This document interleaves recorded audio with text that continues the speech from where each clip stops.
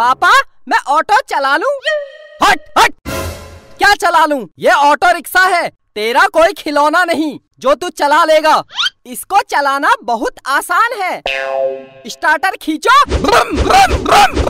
करो। चलते बनो। क्या चलते बनो, है? क्या चलते बनो? पुष्पा, इसको समझा नहीं सकती? ये पागल हो गया है। नालायक, हट। खुद ही समझा लो। जैसा बाप, वैसा बेटा। बेटा बड़ा हो जा, फिर चलाएगा।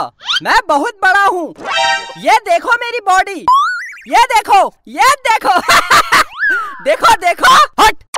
जा पढ़ाई कर। तू क्या खड़ी है? जा खाना बना। फिर ऑटो रिक्शा लेकर जाता हूँ। आज कुछ पैसे कमाऊँगा। तू गया नहीं? जा पढ़ाई कर। मुझे ऑटो रिक्शा देखने दो। मैं बाद में पढ़ाई कर लूँगा।